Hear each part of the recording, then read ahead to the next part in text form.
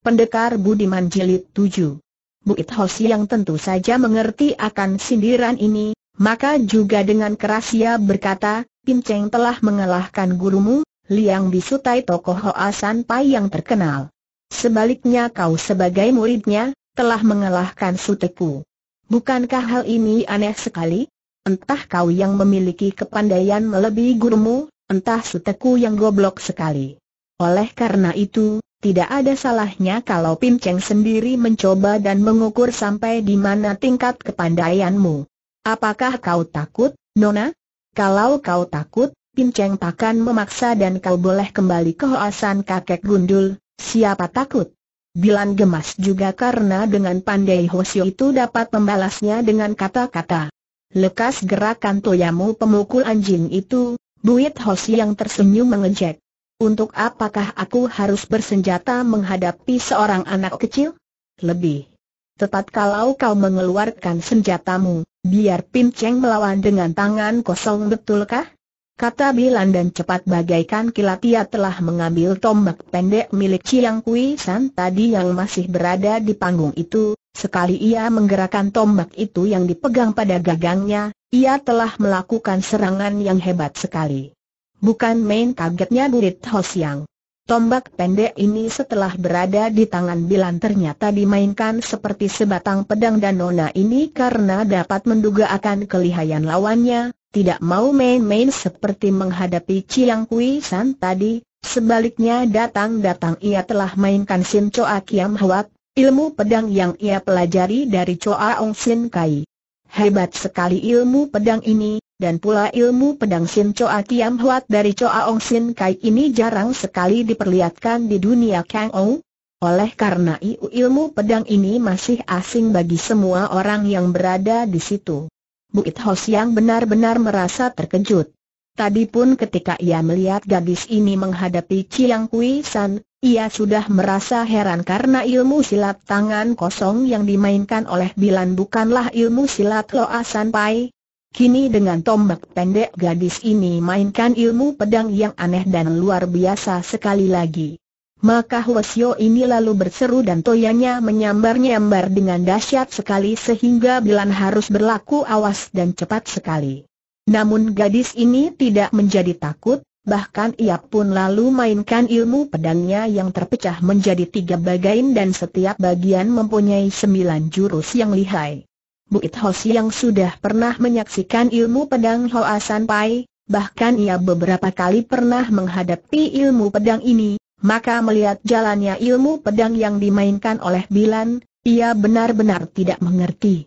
Beberapa kali mendesak, akan tetapi sia-sia saja karena permainan pedang yang juga bukan mempergunakan pedang asli, melainkan sebatang tombak pendek dari gadis ini tidak dapat didesaknya, bahkan beberapa kali tombak menyerang dengan care yang amat dahsyat sehingga membingungkan Burit Hosyang.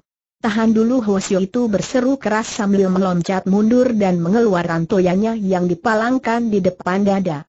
Ada apa, Burit Hosyang? Apakah kau sudah merasa cukup? Tanya Bilan mengejek. Nona, Pinceng lihat kau tidak mengguna ilmu pedang dari Hoa San Pai. Betul-betulkah kau seorang murid Hoa San Pai? Jangan kau main-main. Ilmu pedang apakah yang kau mainkan tadi? Juga, ilmu pukulanmu ketika kau merobohkan Chiang Eng Hiong tadi pun bukan dari Hoa San Pai Bilan biarpun suka bergurau, namun mempunyai watak jujur. Ia tertawa dan menjawab, Aku memang anak murid Hoa San Pai, itu tak dapat disangka lagi. Akan tetapi, guru-guruku tidak melarangku untuk mempelajari ilmu silat lain. Apakah kau jerih menghadapi ilmu pedangku tadi? Siapa jerih kepadamu? Kulihat ilmu pedangmu aneh seperti ilmu kepandaian seluman. Agaknya kau dapat belajar dari seorang iblis merah muka Bilan mendengar ini. Memang Buit Hos yang mempergunakan akalnya. Hwasyo yang sudah banyak pengalaman ini maklum bahwa menghadapi seorang lincah dan berani seperti Nona ini, kalau ia bertanya siapa guru Nona ini mengajar ilmu pedang itu tentu ia hanya akan dipermainkan saja. Maka ia mendahului dan sengaja mencaci maki guru Nona itu untuk membangkitkan kemarahannya. Memang benar. Bilan yang menjadi marah lupa untuk bergurau dan ia segera mengaku. Hwasyo tua lancang mulut. Kau hendak bilang bahwa guruku yang baru Choa Ong Sin Kai seorang iblis. Hati-hati kau dengan mulutmu, Hwasyo terdengar seruan-seruan kaget.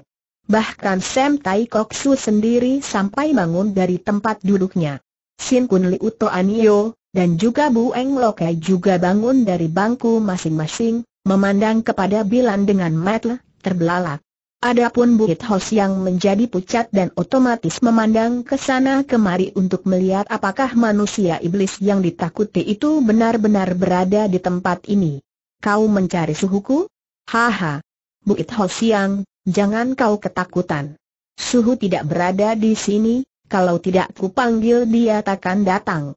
Jangan kau takut akan tetapi Bilan melihat ke sekelilingnya dan ia menjadi terkejut sekali karena sebagian besar orang-orang yang berada di situ memandang kepadanya dengan sikap bermusuhan dan mengancam.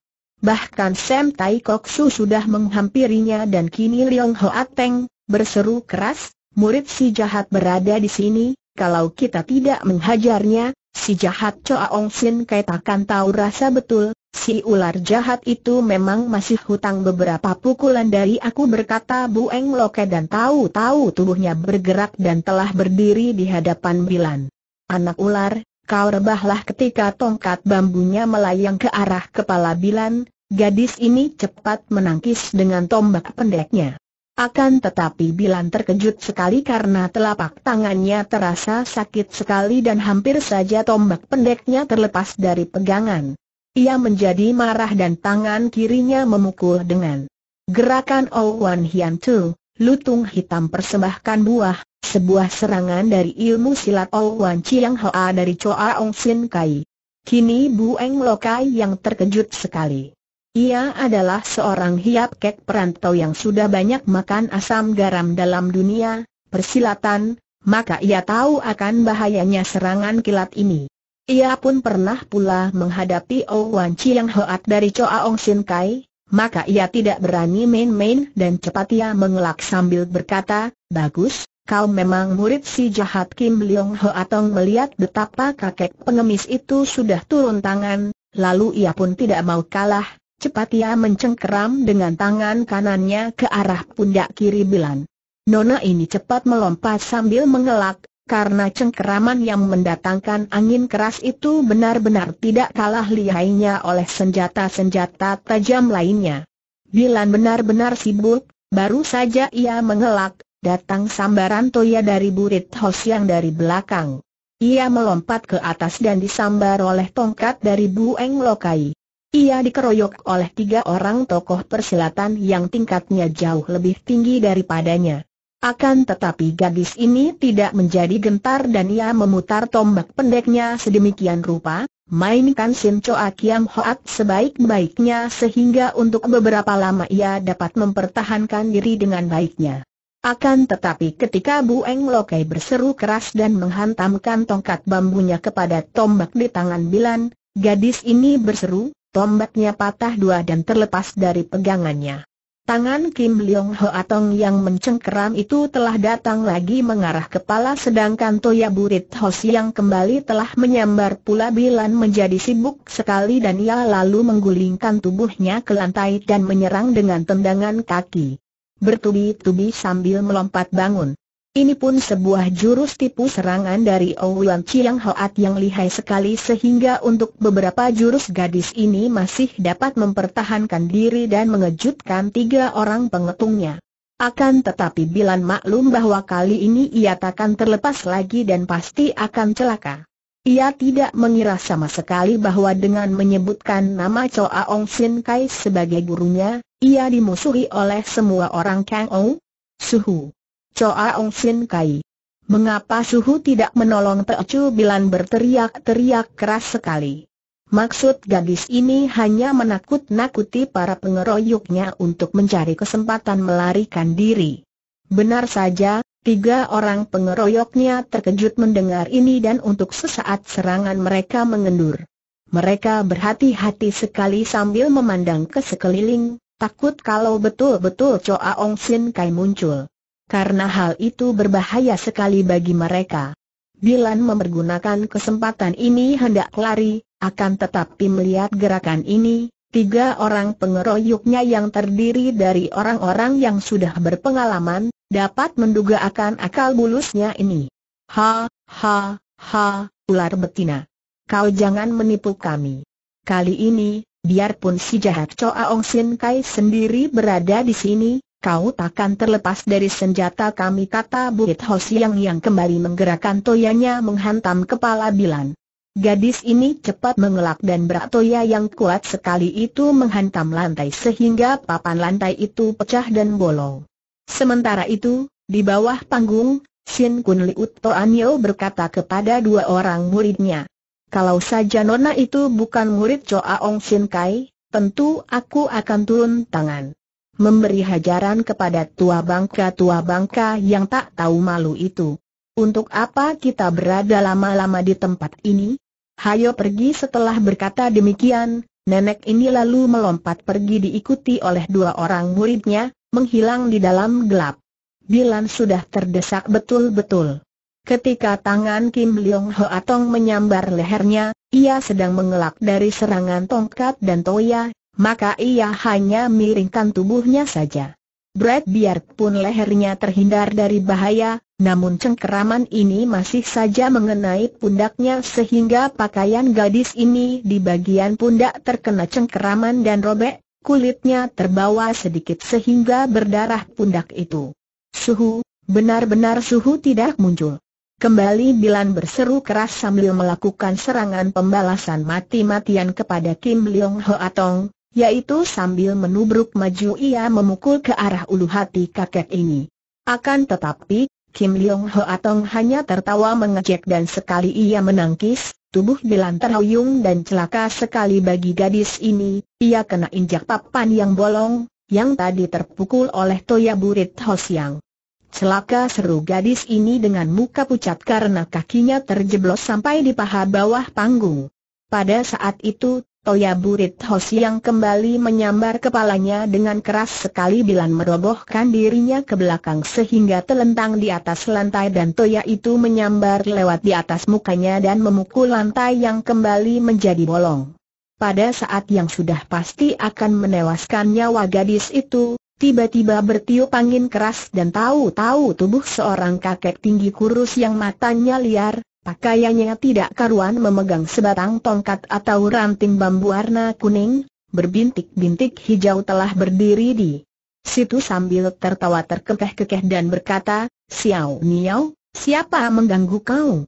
Pada saat itu, tongkat bambu dari Bu Eng Lokai telah menusuk ke arah jalan darah di leher Bilan sedangkan Toya dari Burit Hosi yang telah menyambar lagi, kini untuk memberi pukulan maut ke arah dada gadis itu, juga kini Leong Atong telah mengirim tendangan ke arah kepala Bilan. Hebat sekali akibat dari tiga macam serangan itu setelah kini kakek aneh itu berada di dekat Bilan. Dengan kecepatan yang tak terduga sama sekali, ranting bambunya telah melayang dan mendahului gerakan Bueng Lokai, menotok jalan darah di leher pengemis tua ini sehingga ia roboh kaku tertotok jalan darahnya. Kemudian, Ketika Toya Burit Hos yang mengarah dada Bilan, kakek liar matanya ini menggerakkan kaki menendang dan aneh sekali, Toya itu ketika beradu dengan ujung kakinya, terpental dan membalik, bukan memukul dada Bilan, bahkan sebaliknya memukul dada Burit Hos yang sendiri. Baiknya Burit Hos yang telah mengerahkan lekangnya, maka ketika Toyanya melakukan gerakan senjata makan cuan ini terdengar suara buk dan ia hanya merasa terdorong oleh tenaga besar sehingga tubuhnya terguling ke bawah panggung. Adapun Kim Leong Atong adalah yang paling cerdik. Melihat datangnya kakek ini, ia telah melompat mundur menjauhi dan kini semua orang melihat kakek itu menarik tangan Bilan disuruh berdiri. Choa Ong Sin Kai tanda seru berseru orang-orang Kang Ou ketika melihat kakek jembel ini. Choa Ong Sin Kai tertawa terkekeh-kekeh, kemudian ia menudingkan jari telunjuknya yang hanya tulang terbungkus kulit itu ke arah Saru Tai Kok Su sambil berkata, kalian ini Sam Tai Kok Su yang keluar dari neraka, menjelma di dunia hanya untuk membuat rusuh. Kalau kalian tidak menyerahkan nyawamu padaku, akan kubasmi semua orang di sini. Hayo maju berlutut Sam Tai Kok menggigil, akan tetapi mereka adalah tokoh-tokoh besar dan tentu saja mereka tidak sudi mentaati perintah ini. Bahkan ketiganya lalu mencabut senjata masing-masing dan Kim Leong Ho Atong merasa jeri lalu berteriak kepada para tamunya, calon-calon anggota Eng Hiong Hwe, Cui Hiong yang mulia. Si jahat ini telah datang, mari kita basmi bersama orang-orang yang berkumpul di situ, hampir semua membenci Choa Ong Sin Kai yang sudah banyak membunuh orang tanpa sebab, yang sudah banyak merobohkan tokoh-tokoh Kang Ou, maka serentak mereka itu mencabut senjata dan bersiap mengeroyok. Melihat ini, Choa Ong Sin Kai menari-nari kegirangan dan berkata, sayang, sayang, ular-ularku tidak berada di sini. Kalau ada mereka akan berpesta pora. Baik, baik, malam ini aku akan mengantar banyak nyawa kesasar kembali ke asalnya setelah berkata demikian, kaki tangannya bergerak dan terdengar suara kerak-kerak keras sekali. Ternyata tiang-tiang panggung itu hampir roboh. Ketika ia melihat tubuh Bu Eng Lokai masih terbaring kaku di lantai panggung, ia lalu mengangkat kaki menginjak kepala pengemis itu. Praak pecahlah kepala itu dan otaknya berhamburan. Kemudian ia menendang mayat Bu Eng Lokai itu ke bawah panggung. Suhu, jangan, Bilan mencegah dan merasa ngeri sekali. Gadis ini tahu bahwa gurunya ini kalau sudah marah, amat kejamnya. Gurunya yang berotak miring ini memang pembenci manusia dan akan terjadi perkara mengerikan sekali kalau suhunya ini melanjutkan amukannya. Akan tetapi Choa Ong Sin Kai sudah kumat gilanya, ia memondong tubuh muridnya dan membawanya melompat ke bawah panggung. Sekali saja ia menggerakkan kaki menendang tiang besar yang menyangga panggung, terdengar suara keras dan panggung itu roboh, membawa para tokoh besar yang masih duduk di ujung panggung. Mereka yang duduk di atas itu adalah Sam Tai Kok Su dan para tokoh tua yang berkepandaian tinggi, maka cepat mereka bergerak melompat turun sehingga semua selamat, kecuali tiga orang pelayan yang ikut jatuh bersama panggung dan tertimpa oleh tiang-tiang dan atap sehingga mereka menjerit-jerit seperti babi disembelih. Sumakuan Seng yang melihat hal ini, menjadi marah sekali. Orang tertua dari tokoh Hui Eng Pai ini memang bernyali besar sekali, dan juga ia memiliki kepandaian yang cukup tinggi.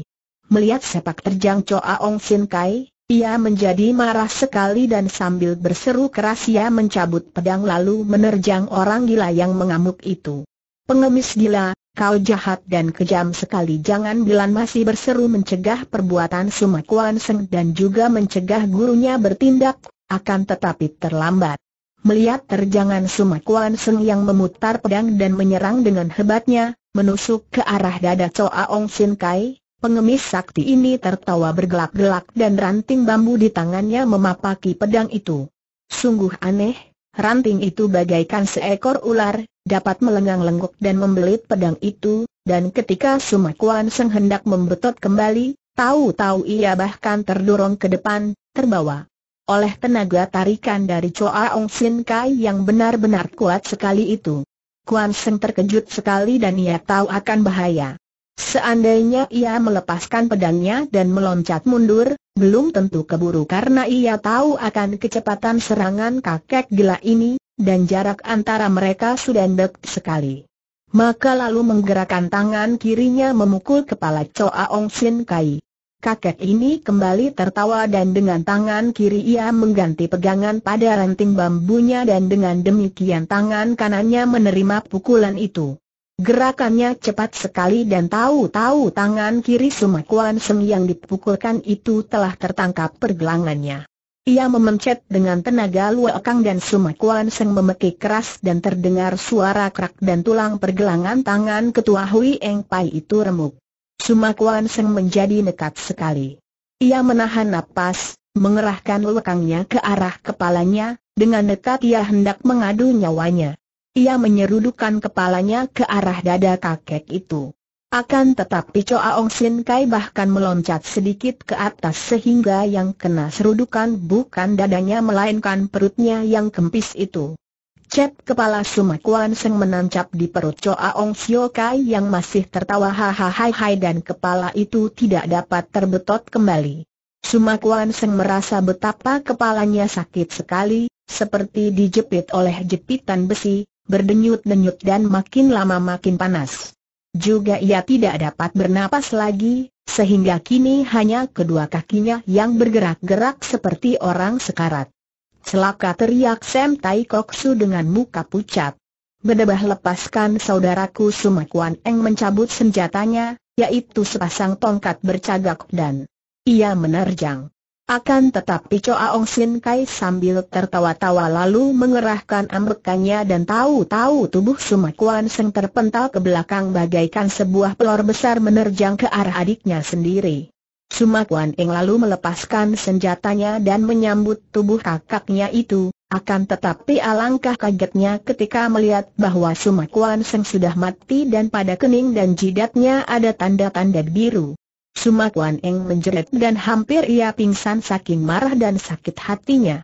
Juga Sam Tai Kok Su sudah bersiap-siap untuk mengeroyok. Suhu, jangan banyak membunuh orang, Bilan kembali berseru, akan tetapi dijawab dengan tertawa menyeramkan oleh Choa Ong Sin Kai. Pada saat itu dari atas melayang turun dua tubuh orang tua yang gerakannya ringan dan gesit sekali. Choa Ong Sin Kai, orang gila. Biarpun kami senang melihat kau membunuh mereka semua, akan tetapi kau terlalu kejam dan terlalu gila Choa Ong Sin Kai marah sekali dan cepat ia memandang. Tiba-tiba matanya terbelalak lebar dan Bilan merasa heran sekali melihat wajah gurunya ini kelihatan takut. Ia cepat menengok dan melihat bahwa yang datang itu bukan lain adalah dua orang kakek kembar yang telah beberapa kali bertemu dengan dia dan Main Meta. Dua orang kakek itu sambil tersenyum-senyum berdiri di situ, nampak tenang-tenang saja seperti di situ tidak terjadi perkara hebat. Keduanya memandang ke arah Choa Ong Sin Kai dengan senyum mengejek. Tian Te Siang Mo, bibir Choa Ong Sin Kai berkata perlahan, akan tetapi suaranya cukup terdengar oleh semua orang sehingga muka orang-orang itu menjadi makin pucat. Baru mendengar dan melihat Choa Ong Sin Kai saja sudah membuat jantung mereka berdebar gelisah, Kini nama Tian Te yang membuat mereka seakan-akan kehilangan semangat yang terbang keluar dari tubuh saking takutnya. Sebaliknya Dilan cepat memandang dan ia terheran-heran. Kedua kakek itu kelihatannya baik hati dan sabar, mengapa ditakuti semua orang Kang ONW dan dianggap amat kejam dan ganas? Choa Ong Sin Kai tiba-tiba menyambar tubuh Bilan, mengempit pinggang yang ramping dari muridnya itu sambil berseru.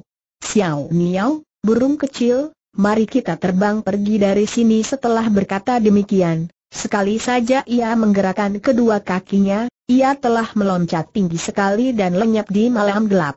Suhu.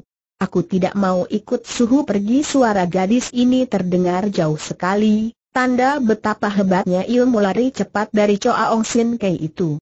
Sin Kai, kau tidak boleh memaksa orang menjadi muridmu Telomo berseru dan sekali tubuhnya berkelebat, kakek ini pun lenyap dari pandangan mata. Tian Lomo hanya tersenyum-senyum saja.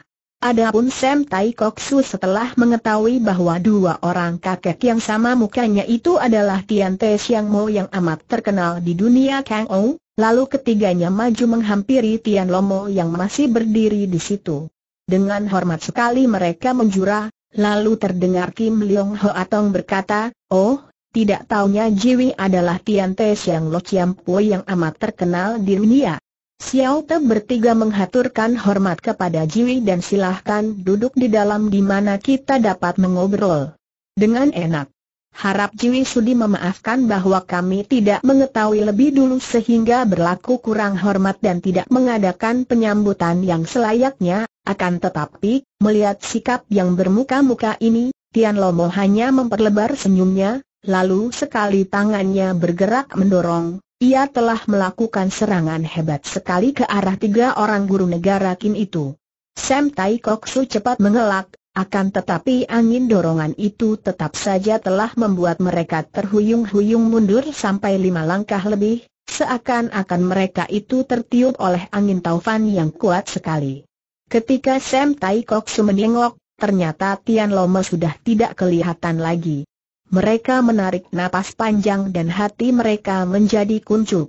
Baiknya orang-orang seperti Tian Te Siang Mo dan Choa Ong Sin Kei itu tidak mau mencampuri urusan negara, karena kalau mereka itu ikut campur dan memusuhi negara Kin, sungguh beratlah tugas mereka bertiga.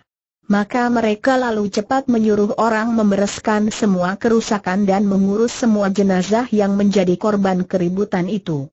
Pesta dilanjutkan, akan tetapi sekarang sudah tidak dapat ditimbulkan kegembiraan seperti tadi. Semua orang telah ketakutan dan seorang demi seorang, mereka meninggalkan taman itu. Betapapun cepatnya Choa Ong Sin Kai berlari, namun ketika Fajar menyingsing dan ia telah tiba di tempat yang hampir seratus li jauhnya dari Chin An dan berhenti di pinggir jalan, tahu-tahu dari belakangnya terdengar seruan keras. Choa Ong Sin Kai, kau lepaskan nona itu pengemis ular ini terkejut dan marah sekali. Ia menurunkan Bilan dari pondungannya dan berkata kepada muridnya itu, Bilan, benar-benarkah kau tidak mau turut dengan aku dan hendak ikut mereka itu?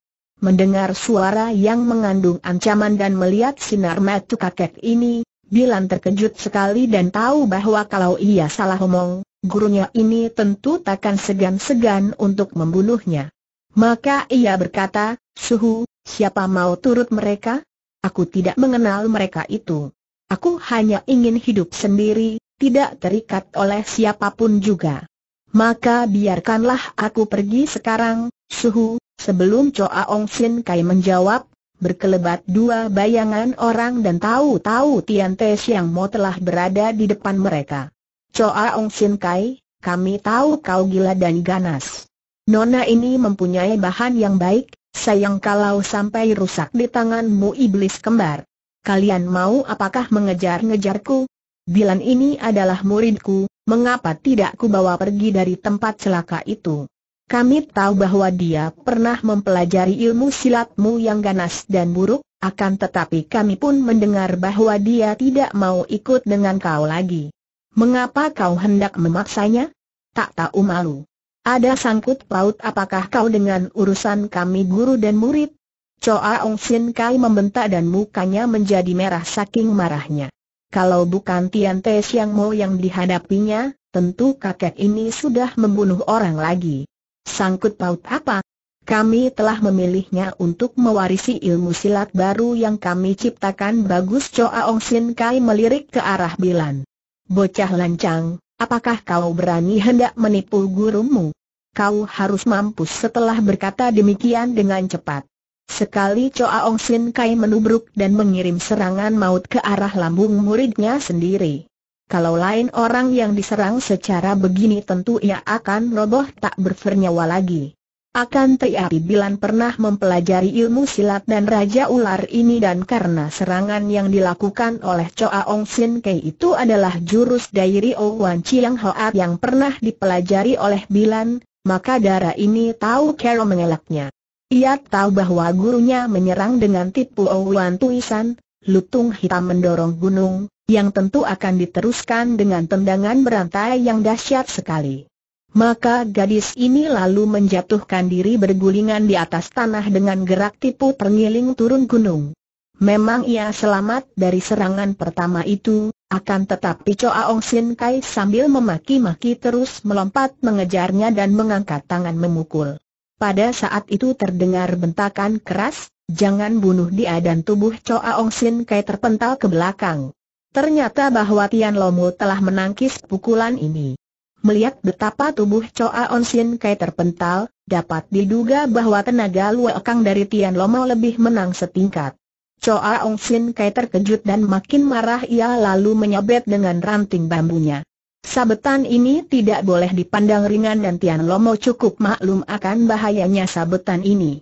Walaupun senjata kakek lar itu hanya sebatang ranting bambu, namun ranting bambu itu bukanlah bambu biasa, melainkan bambu ular yang hanya terdapat di puncak bukit sebelah selatan Godisan, sebuah bukit yang penuh ular di mana bambu kuning berbintik-bintik hijau ini batangnya penuh dengan ular-ular berbisa sehingga ranting bambu ini pun mengandung bisa yang jahat sekali.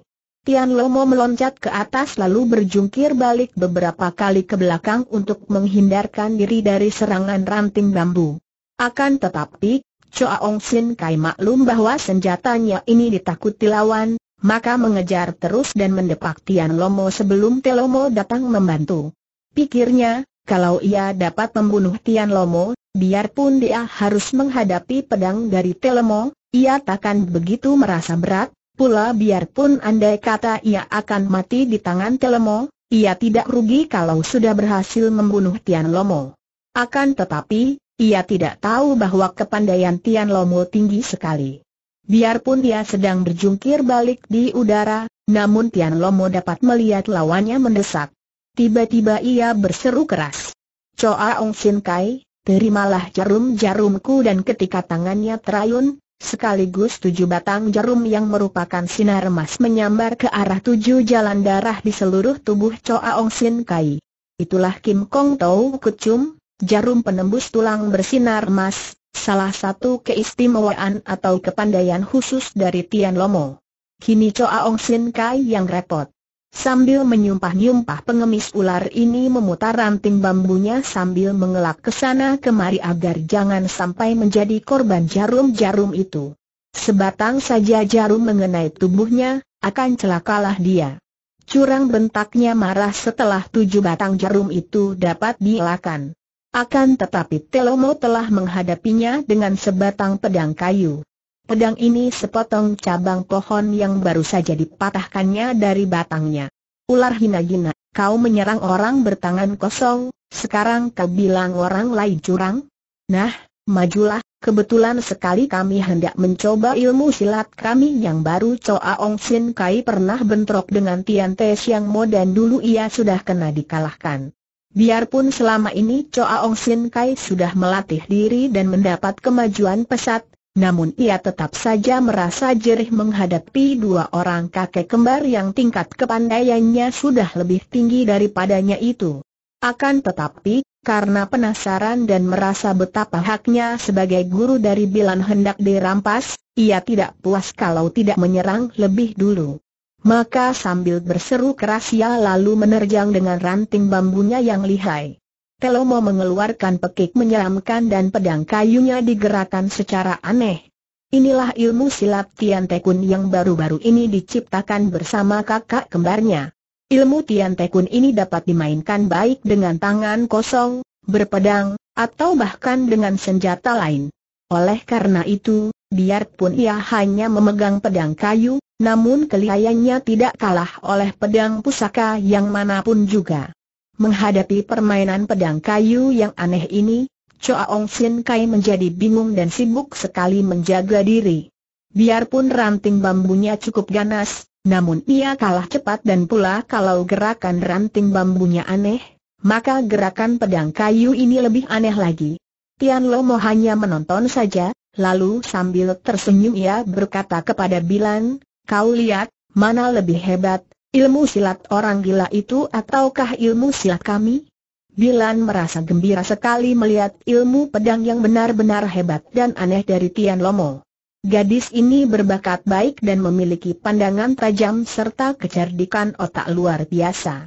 Ia telah mempelajari Hoasan Kiam Hoat dan Kim Choa Kiam Hoat, akan tetapi dua ilmu pedang itu dibandingkan dengan ilmu pedang yang dimainkan oleh kakek berpedang kayu ini, benar-benar kalah jauh. Tak terasa pula ia mengeluarkan kata-kata memuji. Anak baik, kaulah kelak yang akan mewarisi ilmu silat kami Tian Tekun kata pula Tian Lomo melihat kegembiraan Bilan. Maukah kau mempelajarinya dari kami? Bilan melihat betapa Choa Ong Sin Kai terdesak hebat. Kakek gila itu menyumpah-nyumpah dan mempertahankan diri sekuatnya dengan ranting bambunya. Kalau kalian membunuh Suhau, aku takkan mau mempelajari ilmu silatmu yang ganas katanya dengan keras. Telomo mendengar pula ucapan ini, maka sambil tertawa bergelak ia menggerakkan pedang kayunya secara luar biasa sekali, Choa Ong Sin Kai memaki keras karena pundaknya terluka oleh pedang kayu itu dan biarpun pedang itu sebetulnya hanya sepotong cabang pohon dan ia telah memiliki kekebalan hebat, tetap saja kulit pundaknya pecah dan darah mengalir keluar. Choa Ong Sin Kai maklum bahwa lawannya tidak bermaksud membunuhnya, maka ia pun tahu diri, lalu melompat ke belakang dan sambil mendelikan matanya. Kepada Bilan, ia berkata, kalau kau mempelajari ilmu silat setan ini, lain kali aku akan membunuhmu Isa habis berkata demikian. Choa Ong Sin Kai tertawa bergelak dan tubuhnya lalu mencelat jauh, menghilang di balik pohon-pohon. Sepasang kakek kembar itu lalu menghadapi Bilan. Nah, sekarang katakan, apakah kau mau menjadi murid kami? Bilan menjatuhkan diri berlutut dan hatinya girang sekali. Tentu saja Teocu mau mempelajari ilmu silat dari Jiwi Suhu, dalam kegerangannya Nona ini lupa bahwa ia tadi telah berjanji kepada Choa Ong Sin Kai bahwa ia takkan ikut kepada dua orang kakek ini. Hal ini kelak akan mendatangkan permusuhan hebat dari pihak Choa Ong Sin Kai, bekas gurunya itu. Tian Te Siang Mo yang merasa kecewa karena Chiang Le dianggapnya melanggar kesusilaan dan telah menjadi murid Lulian Xiao Chai, kini menurunkan ilmu silat Tian Te Kun kepada Bilan yang mempelajarinya dengan penuh ketekunan. Gadis ini merasa girang bukan main karena memang kepandaian dua orang gurunya ini benar-benar hebat sekali jauh lebih tinggi daripada kepandaian tokoh-tokoh Hoa San Pai, bahkan masih lebih tinggi daripada kepandaian Choa Ong Sin Kai yang terkenal hebat dan lihai. Sekarang kita menengok keadaan Chiang Lei yang telah lama kita tinggalkan. Pemuda ini yang mabok keras, tidak sadar bahwa dirinya diperebutkan oleh guru-gurunya dan Luliang Xiu Chai, murid dan pelayan dari tokoh besar Pak Kek Sian guru Dewa Kutub Utara di Luliang San. Ketika ia sadar kembali dan merasa dirinya dikempit oleh lengan tangan yang halus tapi kuat sekali dan dibawa lari, Chiang Le menjadi kaget dan heran sekali. Ia dikempit di lengan kanan dan ia tahu bahwa orang ini menggunakan ilmu wekang yang tinggi sekali, maka kalau ia mengerahkan tenaga untuk melepaskan diri, selain belum tentu ia akan dapat terlepas, juga itu amat membahayakan dirinya. Maka ia lalu menengok muka orang yang membawanya lari. Ia makin terheran-heran, karena wajah orang itu nampaknya sebagai seorang sastrawan tua yang halus raut mukanya dan lembut sinar matanya. Lon Hyong, Xiao Te hendak kau bawa ke manakah? Tanyanya. Ketika melihat bahwa Chiang Lei sudah sadar kembali, Luliang Sulu Chai tersenyum dan menghentikan larinya, lalu melepaskan tubuh pemuda itu yang segera berdiri di depannya. Anak muda, aku mendengar bahwa kau bernama Go Chiang Le, apakah benar kau berjuluk Hwa Ing Hiong dan menjadi murid dari Tian Tas Yang Mo? Betul, memang Xiao Te bernama Go Chiang Le. Tidak tahu siapakah Long Hiong dan mengapa tahu-tahu Long Hiong membawa lari Xiao Te? Sastrawan tua itu tersenyum dan memandang tajam. Orang muda, Coba kau ingat-ingat, lupakah kau akan peristiwa yang baru saja kau alami di rumah ketua Hakim Kaipang? Chiang Le mengerutkan keningnya dan mengingat-ingat dan perlahan-lahan semua pengalamannya terbayang kembali sampai pada saat ia minum arak dan mabok, lalu terbayang pula sikap yang genit dan tak tahu malu dari Chun Eng yang cantik. Tak terasa lagi merahlah wajah Chiang Le ketika ia teringat akan semua itu. Tahukah kau bahwa karena perbuatanmu di dalam rumah ketua Hakim Kaipang itu, hampir saja kau mati oleh kedua orang gurumu sendiri? Mereka amat marah dan jemu melihat kelakuanmu, akan tetapi, Xiao Te sama sekali tidak melakukan pelanggaran. Xiao Te tidak, tidak. Luliang Liang Chai mengangkat tangannya mencegah Chiang Le melanjutkan pembelaannya. Aku tahu, anak muda, kalau aku tidak tahu bahwa kau berhati bersih, apa kau kira aku begitu usilan dan merampasmu dari Tian Te Siang Mo yang hendak membunuhmu? Karena kau telah menolong seorang sastrawan muda, maka hatiku tergerak dan ketika aku melihat betapa kau terjerumus dalam sarang ular cantik itu aku segera membawamu keluar, Chiang Le memandang dengan penuh perhatian. Kakek ini melihat sikap dan pakaiannya, Terang adalah seorang sastrawan tua, akan tetapi mengapa memiliki kepandaian silat yang begitu tinggi? Tadi saja ia sendiri sudah menyaksikan ketika kakek ini mengempitnya dan sekarang mendengar bahwa kakek ini dapat merampasnya dari tangan Tian Te Siang Mo yang hendak membunuhnya, ia benar-benar merasa terkejut. Siapakah Lon Hyong yang gagah perkasa? Tanyanya. Luliang Sulu Chai tertawa perlahan. Aku tidak punya nama. Apakah artinya nama bagi orang tua seperti aku? Kau masih muda dan bertulang pendekar. Sian Su tentu akan senang melihatmu. Kau ikutlah saja padaku. Setelah berkata demikian, ia menyambar tangan Chiang Le dan berlari cepat seperti terbang. Chiang Le terpaksa mengerahkan ilmunya berlari cepat karena kalau tidak, ia tentu akan terseret.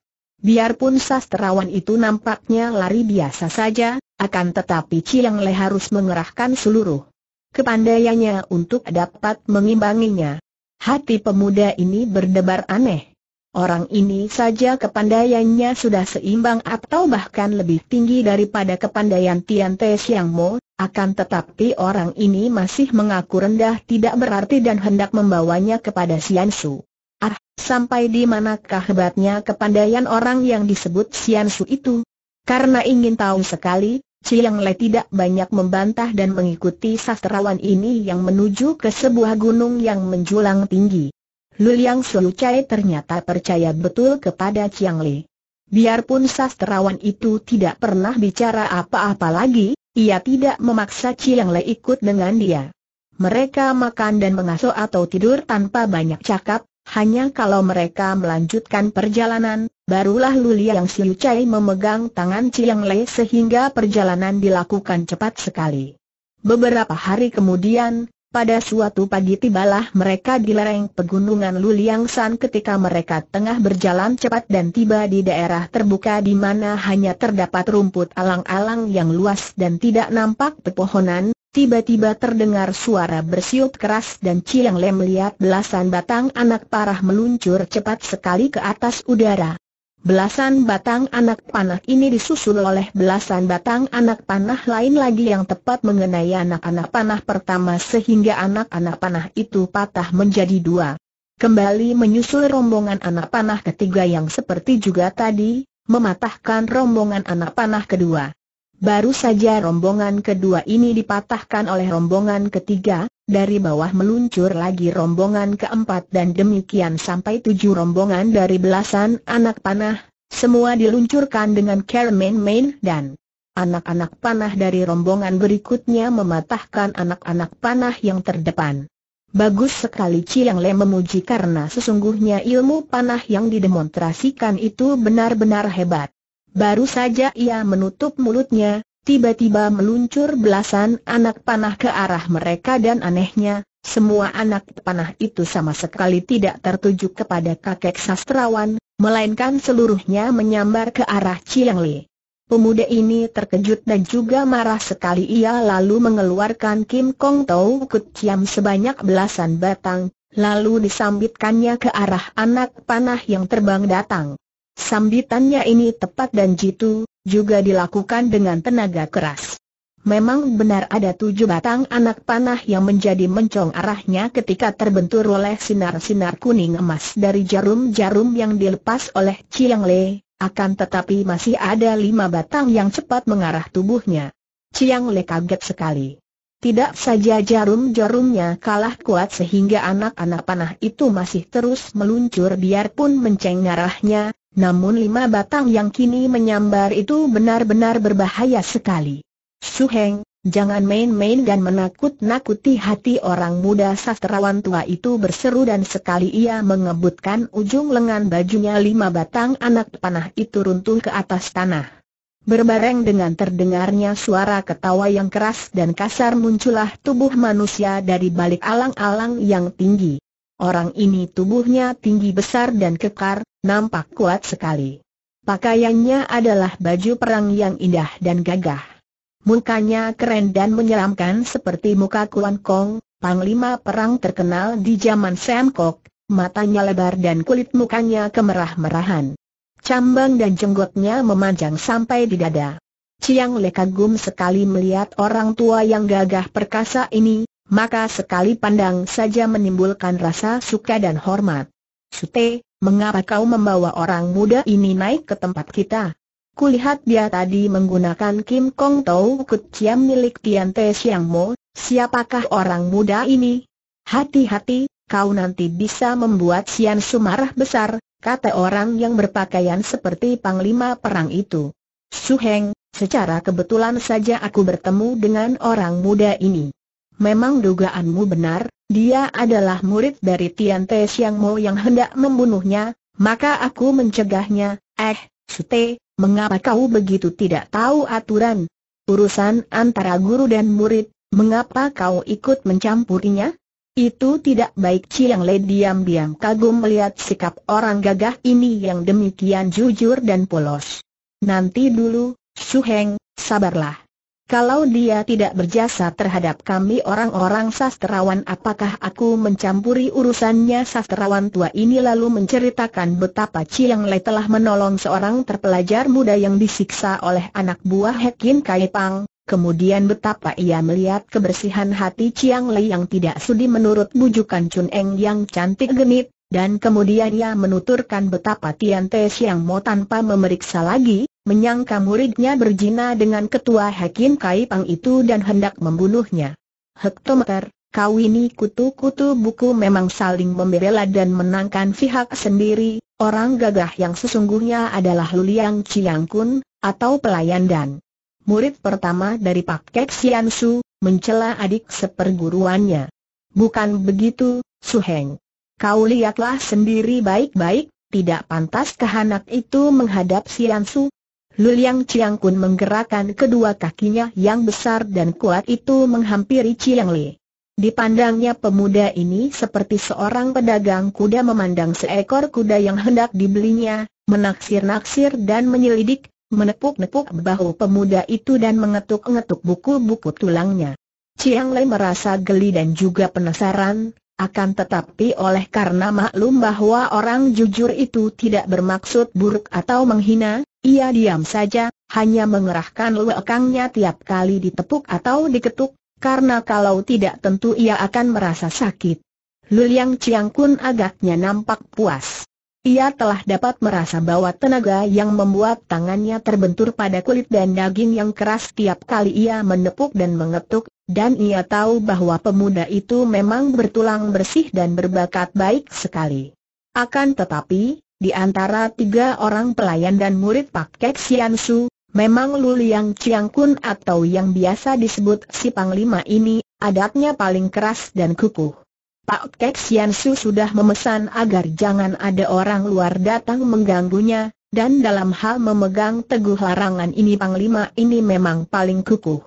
Berbeda dengan si sastrawan, Lu Liang atau si petani, Lulang Nung Jin, yang kadang-kadang masih suka menyampaikan permohonan-permohonan tolong dari rakyat jelata kepada guru mereka. Kau adalah murid dari Tian Te Siang Mo, siapa bisa bilang bahwa kau tidak mempunyai watak yang buruk? Seperti guru-gurumu. Ia membentak sambil menghadapi Chiang Li. Kau tidak boleh menghadap Sian Su Chiang Li memang berwatak sabar, akan tetapi ia masih muda sekali dan kini menghadapi perlakuan kasar seperti itu, tentu saja ia merasa penasaran dan marah. Hanya, terhadap seorang tua, ia masih dapat menekan kemarahannya hingga memperlihatkan muka biasa saja, akan terapi ia menjawab juga.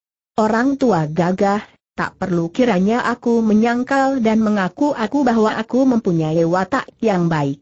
Siapa orangnya di dunia ini mau mengaku berwatak buruk? Hanya orang lain yang berhak menentukan apakah watak kita baik atau buruk, dan dalam hal watakku, kalau kau menganggapnya buruk, terserah. Adapun tentang Sian Su yang kau sebutkan itu, bukan kehendakku untuk berjumpa, sungguh pun aku ingin sekali menyatakan penghormatanku kepada Pak Kek Sian Su, akan tetapi aku dibawa oleh Long Hyong ini, hi, siapa bilang kau akan menghadap Pak Kek Sian Su kini sastrawan itu bertanya heran. Memang dia belum pernah memperkenalkan diri sendiri, apalagi menyebut-nyebut nama Pak Kek Sian Su. Chiang Le tersenyum. Bukankah Long Hiong ini Luliang Siu Chai dan orang tua gagah ini Luliang Chiang Kun? Apakah sukarnya menebak ini kalau melihat sikap, pakaian, dan tingkat kepandaian Ciwi? Sudah lama Xiao Ke mendengar tentang tiga orang tua yang gagah perkasa dan yang menjaga bukit Luliang San, yaitu Luliang Chiang Kun, Luliang Siu Chai dan Luliang Nung Jin, Sekarang Xiao Te melihat Jiwi berdua, dan mendengar Jiwi menyebut-nyebut Sian Su siapa lagi kalau bukan Pak Kek Su yang Jiwi maksudkan. Tanda petik. Panglima dan sastrawan itu saling pandang, kemudian tertawa gelak. Kau mempunyai otak juga Panglima itu memuji. Eh, kau anak siapakah? Ayah Bunda Xiao Te sudah meninggal dunia oleh bala tentara Qin, jawab Chiang Li. Mendengar ini, Tiba-tiba Liang Chiang Kun mencabut pedangnya yang besar dan berat, lalu sekali ayun saja pedangnya itu menimpa batu karang. Terdengar bunyi keras dan terlihat bunga api berpijar menyilaukan matu dan batu karang itu terbelah menjadi dua. Dapat dibayangkan betapa hebatnya tenaga dari Panglima INJ, dan menjadi bukti bahwa pedangnya itu pun pedang baik sekali. Keparat bangsa Kin teriaknya gemas kalau tidak ada Siansu yang mencegah, sudah sejak dulu aku turun gunung dan membasmi mereka Suheng, Siansu mengajar kita mengendalikan nafsu, apakah Suheng sudah lupa lagi? Luliang Chiang Kun menarik napas panjang dan alangkah heran dan kagetnya hati Chiang Le ketika ia melihat betapa di atas pipi Panglima ini terdapat dua titik air mata yang besar dan bening. Diam-diam ia merasa terharu juga. Ia dapat menyelami jiwa Panglima besar ini. Sebagai seorang Panglima besar yang berjiwa patriotis, tentu saja hatinya sakit melihat Tiongkok dihina dan dihisap oleh bangsa Qin, akan tetapi ia lebih taat dan tunduk kepada pesan suhunya, maka kini ia hanya dapat menekan gelora semangatnya. Anak baik, jadi orang tuamu menjadi korban musuh. Siapakah nama ayahmu? Ayah bernama Go Sik An, jawab Chiang Lei dengan jujur. Akan tetapi, jawaban ini membuat dua orang tua itu meloncat dan segera Chiang Lei dipeluk dari kiri kanan oleh sastrawan dan panglima itu. Apa? Sungguh kebetulan sekali. Jadi kau ini keturunan Go Teh Yap? Aduh, anakku kata sastrawan dan kini kedua orang tua itu mengucurkan air mata sungguh-sungguh. Tentu saja Chiang Lai merasa terheran-heranlah tidak tahu bahwa kedua orang ini dahulunya adalah kawan-kawan seperjuangan dari Gosik An dan tentu saja mereka merasa terharu sekali melihat putra dari Gosik An yang dihukum gantung karena membela negara dan tanah air. Pada saat itu datanglah seorang kakek lain yang pakaiannya penuh lumpur demikian pun kedua kakinya yang telanjang. Celananya digulung sampai sebatas lutut, Kepalanya ditutup caping, topi yang atasnya runcing, bundar lebar sekali seperti payung dan tangan kirinya memanggul sebatang cangkul. Dilihat sekelebatan saja, tahulah orang bahwa dia adalah seorang petani yang rajin. Di tangan kanannya ia memegang sebuah alat dari kayu dan besi yang besar dan berat sekali. Kayu ini ternyata sebuah bajak yang besar dan yang biasanya ditarik oleh kerbau untuk meluku sawah, akan tetapi melihat care kakek ini menjinjing, agaknya ringan sekali. Maka Chiang Lai dapat menduga bahwa ini tentulah orang ketiga dari para murid atau pelayan Pak Kek Sian Su, yakni yang bernama atau yang disebut Luliang Lung Jin, petani dari Gunung Luliang. Jiwi Su Heng, lihat betapa aku telah dapat membuat sebuah luku yang akan meringankan pekerjaan para kerbau. Kasihan binatang-binatang itu harus menarik luku yang giginya terlalu melengkung dan kurang runcing, dengan luku buatanku ini, pekerjaan akan lebih cepat dan ringan. Kalian lihat sambil berkata demikian, biarpun ia masih jauh dari mereka, petani ini telah melemparkan luku tadi yang melayang cepat sekali menimpa ke arah Panglima dan sastrawan yang sedang memeluk Ciang Lei pemuda ini melihat betapa benda yang berat itu melayang turun dan dengan kaget ia mendapat kenyataan bahwa dua orang kakek yang memeluknya tidak menyambuti sama sekali. Ini berbahaya karena kalau mereka tertimpa oleh luku yang demikian berat dan besarnya, biarpun tubuh mereka kebal, tentu mereka akan terluka juga apalagi dia sendiri yang tentu akan tertimpa pula. Dengan cepat Chiang Lem melompat ke depan dan mengulurkan kedua tangannya menyambuti luku yang besar ini. Baiknya Chiang Le amat cerdik dan ia telah menduga lebih dulu bahwa lemparan kakek itu tentu bertenaga besar sekali sehingga ia sudah berlaku hati-hati. Benar saja, ketika kedua tangannya menyambut luku yang datang menimpa, Ternyata tenaga lemparan kakek itu luar biasa kuatnya ditambah pula oleh gaya bobot benda itu sendiri sehingga kalau ia mempergunakan tenaganya untuk menerima benda ini, tentu ia akan terluka di sebelah dalam tubuhnya. Maka Chiang Le lalu mempergunakan gerakan yang disebut Siu Popansan, sambut mustika memindahkan gunung. Kedua kakinya membuat kuda-kuda tegak dan dibuka lebar-lebar, tubuhnya agak direndahkan dan ketika luku itu ia terima dengan tangan yang terangkat ke atas, ia lalu mengayun luku itu dengan bantuan ayunan tubuh dan kedua lengannya, terus ia melemparkan luku itu ke atas kepalanya. Dengan care ini, maka tenaga luncuran luku itu menjadi patah dan habis, kemudian ketika benda itu turun kembali dengan tenaga luncuran lemah, ia menerimanya dengan mudah dan cepat membungkuk dan memberi hormat kepada si petani. Xiao Pego Chiang Le memberi hormat kepada Luliang Nung Jin yang terhormat dan gagah perkasa, petani itu hendak menegur, akan tetapi ketika ia melihat dua orang suhengnya berdiri dengan muka basah oleh air mata, ia menjadi melongo dan memandang dan pemuda itu kepada dua orang suhengnya penuh pertanyaan. Eh, eh, apakah yang terjadi? Tanyanya. Sute, perkenalkanlah. Dia itu adalah Go Chiang Le, keturunan satu-satunya dari sahabat kita Go Tai Hiap, kata sastrawan kepada adik seperguruannya. Kau maksudkan Go Sik An, Suheng? Tanya petani itu sambil membelalakan matanya. Ketika melihat sastrawan itu mengangguk, Luliang Nung Jin nampak girang sekali. Ia melempar paculnya dan sambil menari-nari ia lalu menghampiri Chiang Le, menangkap pinggang pemuda itu dan melemparkan Chiang Le ke atas. Bukan main hebatnya tenaga lemparan ini sehingga Chiang Lai terpaksa hanya mengerahkan keseimbangan badannya saja sehingga ia dapat meluncur turun dengan tegak. Memang orang termuda dari tiga sekawan yang aneh ini berwatak paling gembira. Setiap hari ia mengerjakan sawah sambil bernyanyi-nyanyi, meniup suling dan bersenda gurau dengan para petani di bawah gunung. Bagus, bagus. Kau keponakanku yang tampan dan gagah. Siapa namamu? Go Chiang Le. Bagus, bagus. Eh, Su Heng, setelah dia berada di sini, apakah kehendak Jiwi? Kami hendak membawanya menghadap Sian Su, Sute, petani itu nampak terkejut. Sian Su terus-menerus bersama di, bahkan laporanku tentang sawah ladang sama.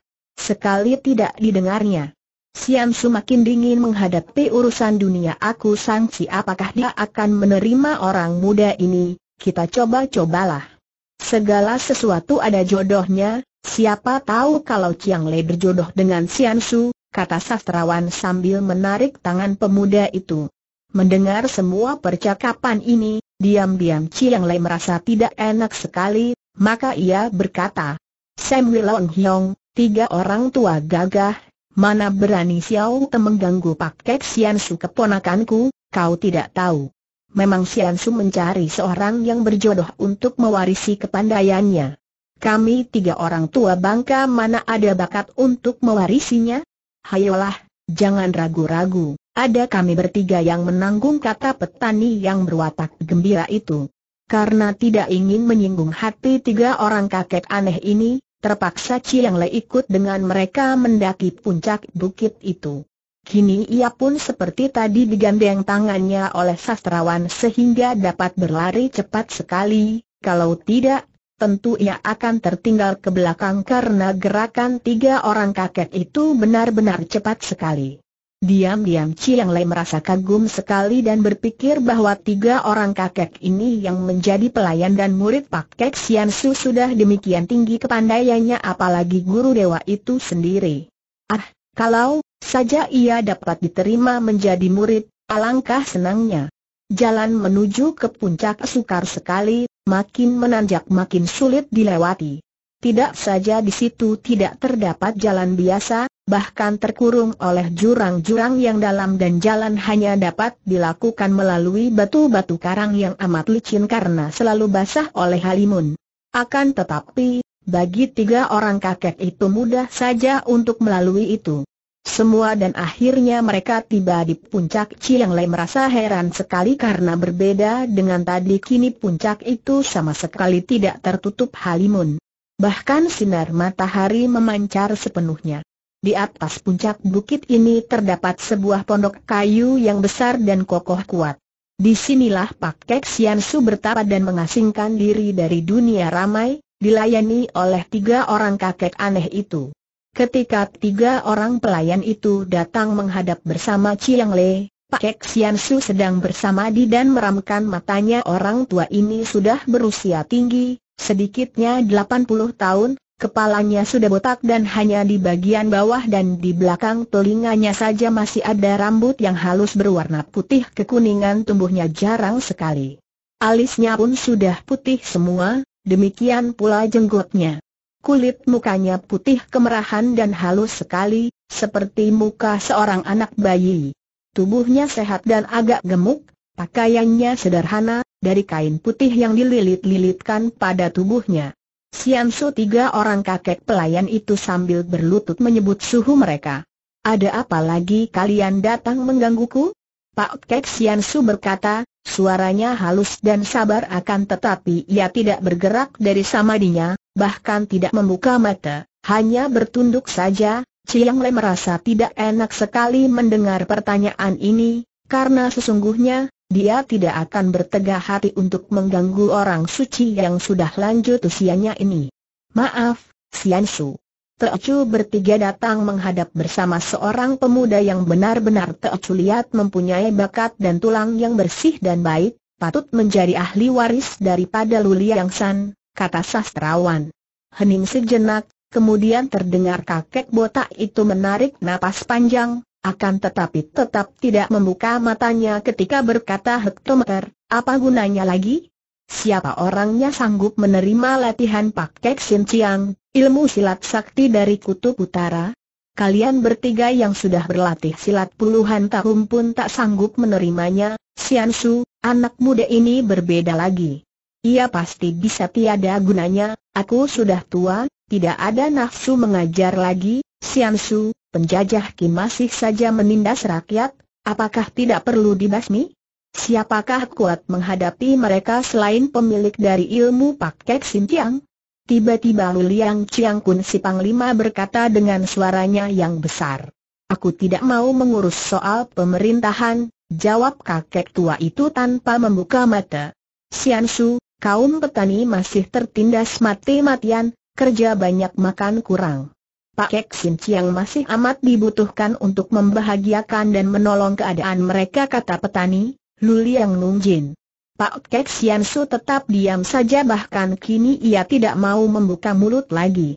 Chiang Le benar-benar merasa jengah, malu, dan tidak enak hati terhadap kakek itu.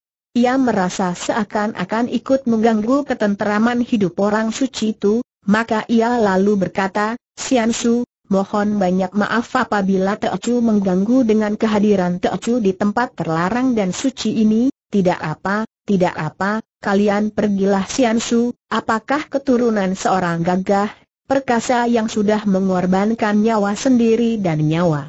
Keluarganya harus didiamkan begitu saja? Siansu, pemuda ini adalah putra dari Gosik An aneh, mendengar ini, Kakek itu membuka kedua matanya dan memandang kepada Chiang Li. Ketika pemuda ini mengangkat muka memandang, terkejutlah ia karena sepasang mata kakek ini benar-benar amat tajam, seakan-akan menembusi dadanya dan menjenguk ke dalam hati. Cepat-cepat ia lalu mengangguk-angguk sambil berlutut, memberi hormat. Pak Kek Sian Su memandang kepada tiga orang murid atau pelayannya, lalu katanya semenjak tadi, Aku sudah tertarik oleh pemuda ini, hanya masih ragu-ragu karena tidak tahu siapa dia. Tidak tahunya dia putra dari mendiang Go Tai Hiap.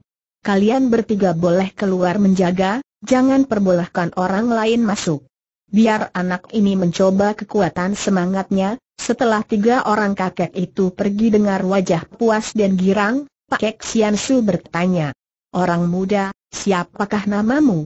Teocu bernama Go Chiang Le, Sian Su, kakek itu mengangguk-angguk.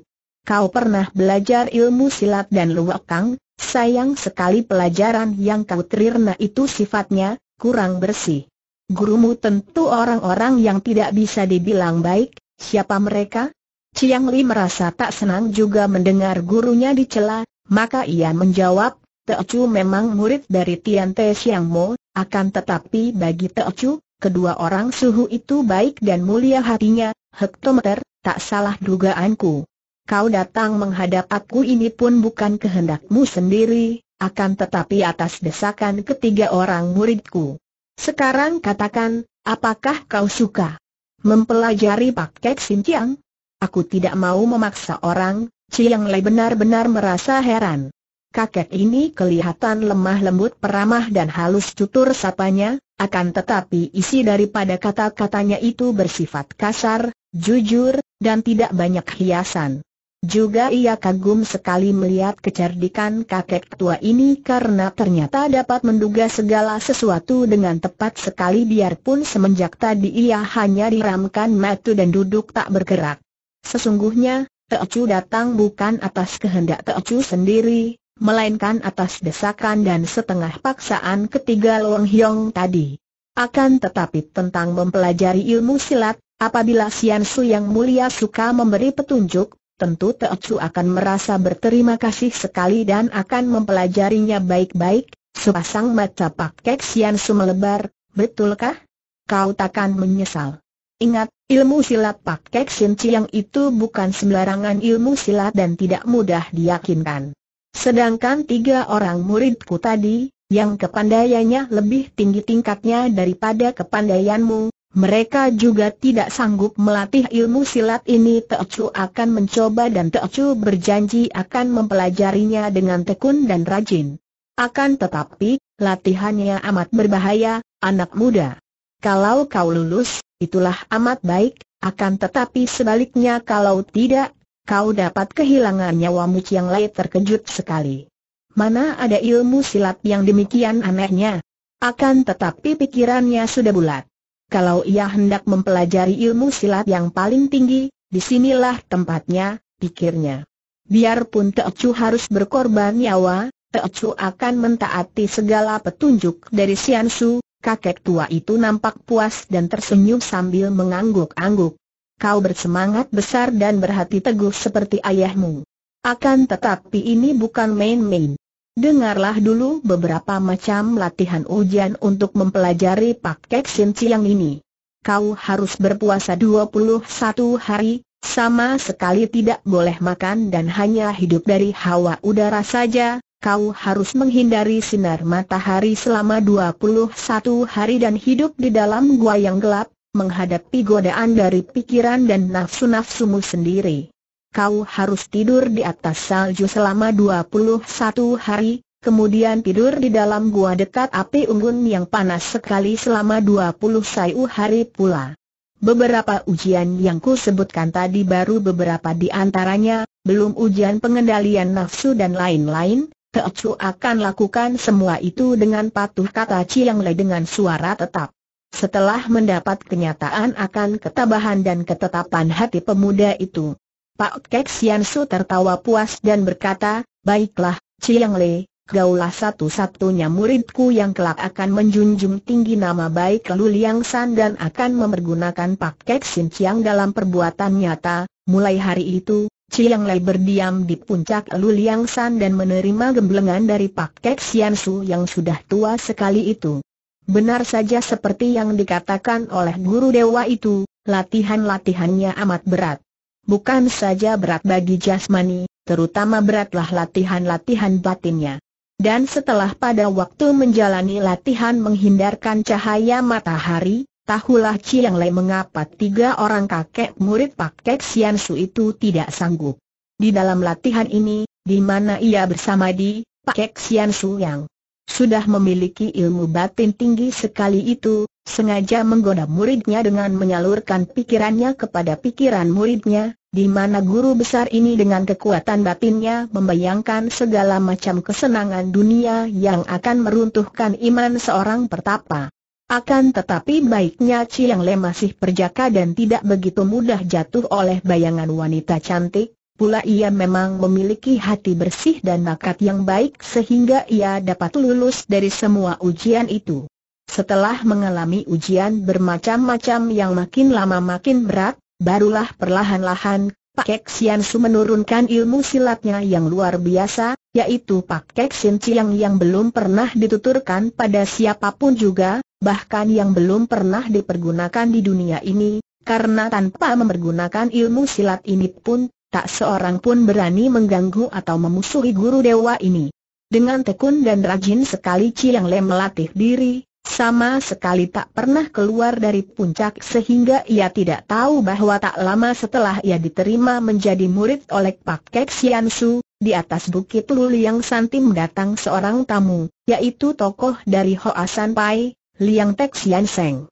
Sebagaimana telah dituturkan di bagian depan, setelah Bilan diculik oleh Choa Ong Sin Kai, Tokoh-tokoh Hoa Sanpai menjadi gempar dan Liang Tek Sian Seng mendapat tugas untuk minta bantuan Pak Kek Sian Su agar Choa Ong Sin Kai suka melepaskan murid Hoa Sanpai itu. Kedatangan tokoh Hoa Sanpai ini disambut oleh Lu Liang Siu Chai yang sudah kenal baik dengan tokoh Hoa Sanpai yang juga seorang sastrawan ini. Kedua orang tokoh ini bertemu dan segera asik bercakap-cakap. Sayang sekali, saudaraku yang baik, Sian Su pada waktu ini sedang sibuk sekali dan tidak boleh diganggu. Ada keperluan apakah gerangan maka, saudara jauh-jauh datang dari Hoa San Pai dan agaknya amat perlu bertemu muka dengan Sian Su. Liang Tek Sian Seng lalu menceritakan tentang diculiknya Bilan oleh Choa Ong Siu Kai dan segala peristiwa yang terjadi di puncak Hoa San kami merasa tidak sanggup mengalahkan Choa Ong Sin Kai, dan oleh karena kita semua sudah maklum akan kejahatan pengemis Raja Lar itu, maka kami hendak mohon pertolongan Sian Su untuk menegur Choa Ong Sin Kai sehingga murid kami itu dapat dibebaskan kembali. Sayang, Sian Su tak mungkin diganggu. Akan tetapi, baiklah aku akan pergi bersama untuk mencari Raja Ular itu. Agaknya memandang muka guruku, ia akan tunduk kepadaku, Bukan main girangnya Liang Tek Sian Seng mendengar kesanggupan sastrawan ini. Ia maklum bahwa kepandaian Lu Liang Siu Chai ini saja sudah amat tinggi dan ia percaya bahwa Lu Liang Siu Chai akan dapat mengalahkan Choa Ong Sin Kai apabila Raja Ular itu hendak menggunakan kekerasan. Dua orang sastrawan yang memiliki kesukaan yang sama ini lalu bercakap-cakap dan main catur sampai tiga hari di atas puncak Luliang San kemudian Luliang Siu Chai lalu berpamit kepada suhengnya, yaitu Luliang Chiang Kun dan sutainya, Luliang Nung Jin, untuk turun gunung. Ia berpesan agar suka menyampaikan kepada Sian Su apabila Sian Su menanyakan, kecuali ditanya, tiga orang ini tidak berani mengganggu pakek Sian Su. Demikianlah, dua orang sastrawan tua yang keduanya merupakan tokoh-tokoh persilatan yang berilmu tinggi ini, bersama-sama turun gunung untuk mencari Choa Ong Sin Kai dan minta bilan yang telah diculik oleh pengemisannya itu. Semenjak Choa Ong Sin Kai dan Tian Te yang mau mengacau pertemuan di malam hari dalam taman di kota Chin An yang diadakan oleh Sam Tai Kok Su, maka hati ketiga orang guru negara pemerintah Kin ini menjadi kuncup dan kecil. Ternyata di Tiongkok terdapat banyak sekali orang-orang Kengou yang benar-benar memiliki kepandaian tinggi sekali. Suma Kuan Eng, orang kedua dari Hui Eng Pai, ketika kakaknya, yaitu Suma Kuan Seng, tewas di tangan Choa Ong Sin Kai, menjadi demikian sakit hati, sehingga ia lalu mengumpulkan anak buahnya dan menggabungkan diri kepada Sam Tai Kok Su untuk rela menjadi kaki tangan bangsa Kin. Sumakuan Eng amat sakit hati kepada Hoa San Pai, karena pembunuh adik seperguruannya, yakni Chiu Hoan Tat, adalah Tan Seng, tokoh Hoa San Pai. Kemudian, biarpun pembunuh kakaknya adalah Choa Ong Sin Kai, namun terbunuhnya adalah gara-gara Bilan, anak murid Hoa San Pai pula untuk menjatuhkan sakit hati kepada Choa Ong Sin Kai, itulah terlalu berat baginya, maka segala kesalahan ia timpakan kepada Hoa San Pai semua. Beberapa hari semenjak peristiwa yang terjadi di taman kota Chin An itu, datanglah seorang kakek tua dari perantauannya, yaitu yang bernama Bamau Hoatsu, seorang tokoh dari Tibet yang kenamaan. Bamau Hoatsu adalah sahabat baik yang dihormati sekali dari Sam Tai Kok Su dan hubungannya dengan pemerintah Kin adalah karena Bamau Hoatsu ini menjadi guru dari Wanyen Kan seorang pangeran Kin yang selain berwajah tampan, juga berilmu tinggi. kedatangan Bamau Hoatsu bersama dengan pangeran ini. Semua orang menyambut dua orang agung ini dengan penuh penghormatan. Ketika Bamau Hoatsu mendengar tentang pengacauan di Chinan oleh Choa Ong Sin Kai dan Tian Te Siang Mo, ia menjadi marah sekali. Kepandaian Choa Ong Sin Kai sih tidak berapa hebat. Aku sendiri sanggup menghadapinya dan takkan kalah. Akan tetapi Tian Te Siang Mo memang lihai sekali. Kalau dua orang iblis itu memusuhi kita, baiknya aku memanggil datang Pak Hang Siansu yang kini tinggal di Tibet. Hanya sahabat baikku Pak Hang Siansu itu saja yang akan sanggup menghadapi dan mengalahkan Tian Te Siang Mo Sem Tai Kok Su merasa girang sekali, akan tetapi Pangeran Wanyen kan berkata, akan tetapi, Suhu. Bukankah Pak Hang Xiansu sudah menjadi wali dari Buddha hidup di Tibet? Kedudukannya paling tinggi di Tibet, dan beliau sudah tua, mana mau datang ke sini? Bamau Hoatsu tertawa bergelak. Benar kata-katamu itu, muridku. Akan tetapi akulah yang lebih kenal wataknya. Memang kedudukannya tinggi, Hidupnya sudah makmur dan tidak membutuhkan sesuatu sehingga mustahil dia mau datang ke sini yang begitu jauh dari sana. Akan tetapi kalau kita beritahu tentang Tian Te Siang Mo, kiraku dia mau juga turun tangan, karena dia adalah seorang yang tidak mau kalah dan kalau mendengar orang mengabarkan bahwa hanya kepandaian Tian Te Siang Mo lebih tinggi dari kepandaiannya, Ku pastikan ia akan menjadi penasaran dan dengan sendirinya ia yang akan mencari Tian Te yang mau untuk diajak pibu baiklah kalau suhu mau ke barat untuk mengunjungi Pak Hang Sian Su, akan tetapi Teocu hendak melancong ke Biciu, kata Pangeran Wanyenkan. Eh, apakah kau tidak kembali ke kota raja dulu? Apakah Nona Hoa Pai itu sudah demikian hebat pengaruhnya atas dirimu? Ditanya demikian oleh gurunya, Wanyen kan menjadi merah mukanya. Teocu ingin mengambil kepastian, suhu, katanya dan Bamau Hoatsu hanya tertawa. Ah, orang-orang muda memang berdarah panas, tentu saja semua orang tidak tahu akan maksud kata-kata guru dan murid ini, akan tetapi siapakah orangnya yang berani bertanya kepada Bamau Hoatsu atau kepada Pangeran Wanyen kan? Hanya seorang saja yang berada di situ menjadi amat tertarik, yaitu Sumakuan Eng. Seperti diketahui, bekas ketua Hui Eng Pai ini menaruh hati dendam hebat kepada Hoa San Pai, maka segala sesuatu yang didengarnya mengenai Hoa San Pai tentu saja menarik hatinya. Diam-diam ia lalu mendekati Pangeran Wan Yen Kan dan mengajaknya bercakap-cakap. Pangeran Wan Yen Kan masih muda, paling banyak 24 tahun usianya. Tubuhnya tidak begitu besar, akan tetapi tegap dan gagah. Wajahnya halus tampan, rambutnya yang hitam dan tebal itu diikat di atas kepala. Dan danannya seperti orang Hon dan karenanya, jarang ada orang mengetahui bahwa pemuda ini sebenarnya adalah Pangeran Wan Yen Kan, seorang pangeran putra Kaisar Qin.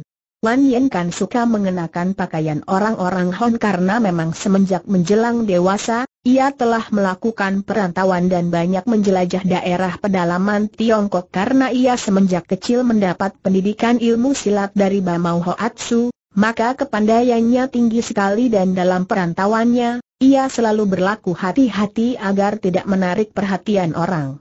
Kang Ou, akan tetapi ia selalu dapat menjaga diri dengan baik-baik. Oleh karena ini, namanya tidak terkenal di dunia Kang Ou, akan tetapi siapa saja yang sudah menghambakan diri kepada pemerintah Qin, pasti sudah mengenal nama Wan Yen Kan sebagai pangeran yang paling pandai, paling tampan, paling disayang oleh kaisar dan banyak orang meramalkan bahwa Wan Yen Kan inilah yang kelak akan menggantikan ayahnya sebagai kaisar. Ketika Wan Yen Kan mendengar bahwa orang bertubuh tinggi besar dan nampak kuat dan gagah itu adalah ketua dari Hui Eng Pai yang ternama, ia menaruh perhatian dan sebentar saja mereka menjadi sahabat baik. Sumak Wan Eng memang pandai sekali bermuka-muka dan bicara manis. Akhirnya ia berhasil memancing pangeran muda itu untuk menceritakan pengalamannya yang bersangkutan dengan Nona Hoa San Pai seperti yang dibicarakan dengan Bamau Hoatsu tadi. Beberapa bulan yang lalu, Wan Yen Kan seorang diri sedang merantau ke selatan dan berada di wilayah kerajaan Sang Selatan.